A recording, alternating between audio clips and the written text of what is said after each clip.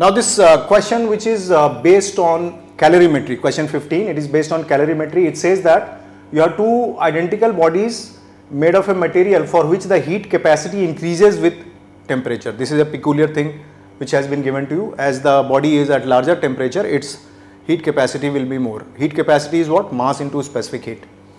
Now one of these is at 100 degrees Celsius while the other one is at 0 degrees Celsius. So one is having higher heat capacity, another one has lower heat capacity.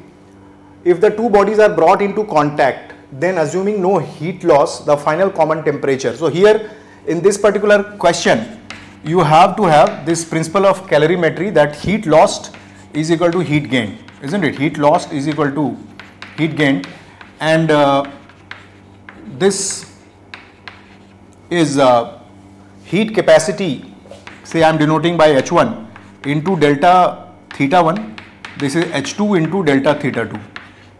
So let us suppose this is the body at higher temperature. So this heat capacity is more.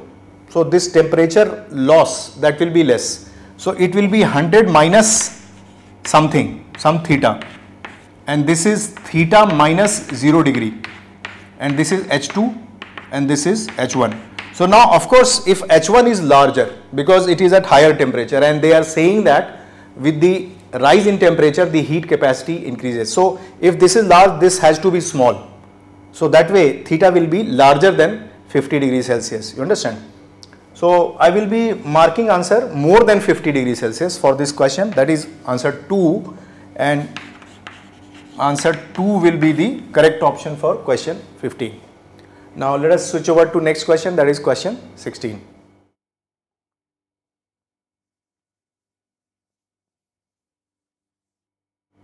Now this uh, question 16 is based on Newton's law of cooling. It says that a body cools from a temperature 3T to 2T in 10 minutes. The room temperature is T. Assume that Newton's law of cooling is applicable.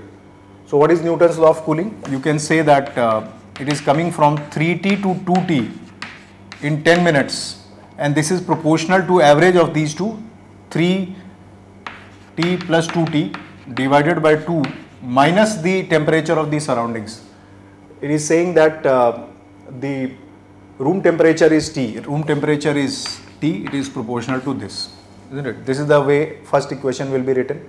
Now, it is asking the temperature of the body at the end of next 10 minutes. So, let us suppose it switches over from 2T to X, X value of X you are supposed to calculate in 10 minutes. So, this will be 2T plus X by 2, this is the average temperature minus the temperature of surroundings. This is what you have to have. These are the two equations you have.